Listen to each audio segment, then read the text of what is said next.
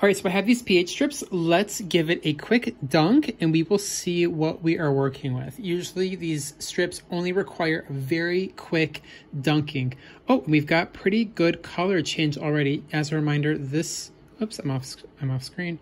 This is what a fresh one looks like and this is what my other one looks like. So let's find out which one it looks like. We are maybe at the 3.0 range. That looks pretty close.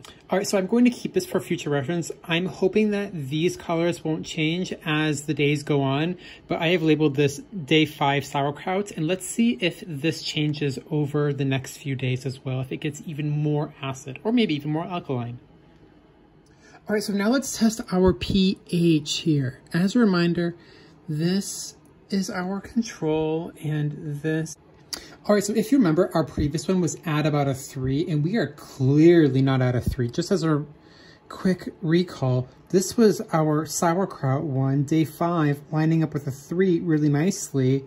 This one is definitely not at a three and I checked and we're going to have to, so this top layer we're not going to look at so closely, but this green section right here we're going to look at a little bit closer.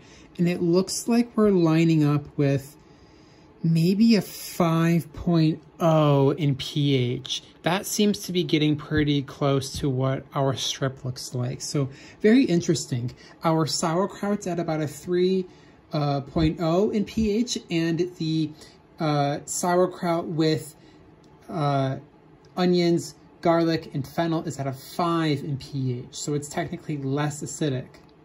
All right, so just as a reminder, I did label them. I do need to get a different pen for this, but uh, this is our control that has uh, not been tested. This one is our sauerkraut at a pH of 3, and this is our Day 5 Sauerkraut Plus uh, with our onions, cap, onions, garlic, and fennel at a pH of 5. So we'll see how these compare at day 7. All right, so this is sauerkraut day number 8. And as you can tell from our previous time, we did have kahm yeast at the top.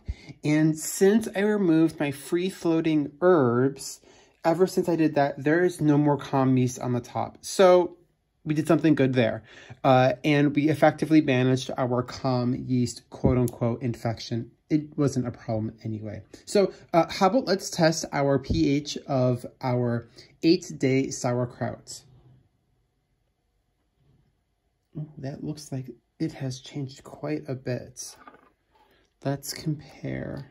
So looking at our test strip, it looks like we're going to be based off of that this top color right here. And it looks like we're at about a three. I might be off and I might need to get a better quality pH strip, but I would say that we're still at a three. So uh, this pH has not changed from our previous uh, day five sauerkraut pH uh, reading, uh, but you know, my previous strip, of course, did not did not stand the test of time. I did write down pH 3, did get smudged. Oh well, color did change. Oh well. So, uh, so we are still at a 3.0 in pH and things are still looking good. All right, so let's test the pH of our cabbage, onion, garlic, and fennel ferment. And from our previous one, I'm not sure if you saw, but our color faded from our previous results. It was at a five, but clearly it's not staying at a five in pH. You know, that color did change.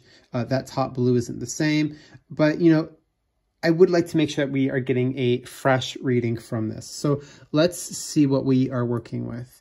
And let's get a reading. And it says to only dunk for half a second. And so that's what we're doing here.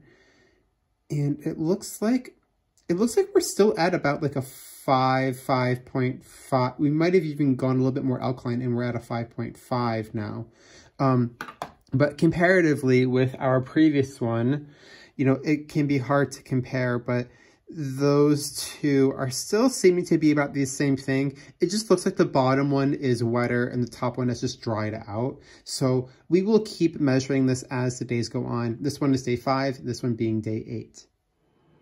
All right, hello everyone. It is day number 11 and I have actually already done a uh, pH reading. And so as we look it does line up still quite nicely with a 3.0 in our uh, pH uh, uh, scale.